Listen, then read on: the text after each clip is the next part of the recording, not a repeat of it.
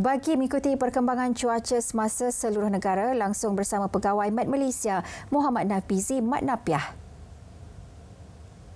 Assalamualaikum dan salam sejahtera. Kita mulakan laporan pada petang ini dengan melihat keadaan cuaca semasa. Imej radar menunjukkan seperti yang telah ya, kami sebutkan pada pagi tadi, pada petang ini berlakunya ribut petir di hampir ke semua negeri di sekitar Semenanjung terutamanya di kawasan pedalaman kebanyakan negeri berkenaan.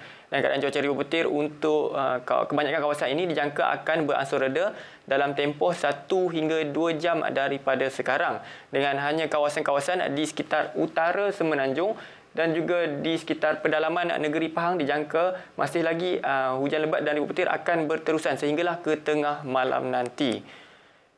Uh, manakala untuk negeri Sabah dan Sarawak juga kita lihat cuaca ribut petir berlaku pada petang ini di kebanyakan bahagian di sekitar barat Sabah dan juga di bahagian-bahagian di sekitar pedalaman negeri Sarawak. Keadaan cuaca ribut petir untuk kebanyakan kawasan ini juga dijangka akan beransur reda menjelang lewat petang nanti Uh, namun begitu untuk cuaca pada malam ini dijangkakan ribut petir akan terus berlaku di sekitar kawasan pedalaman kedua-dua negeri berkenaan terutamanya di sekitar pedalaman bahagian Kapit dan juga Limbang di negeri Sarawak sehinggalah ke tengah malam nanti.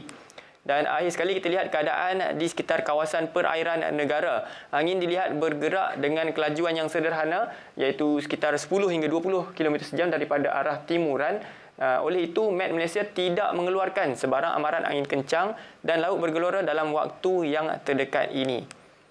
Baiklah, sekian dahulu info cuaca buat kali ini. Sebelum berpisah, kita lihat tinjauan cuaca bagi bandar-bandar utama di seluruh negara. Assalamualaikum dan salam Malaysia Madani.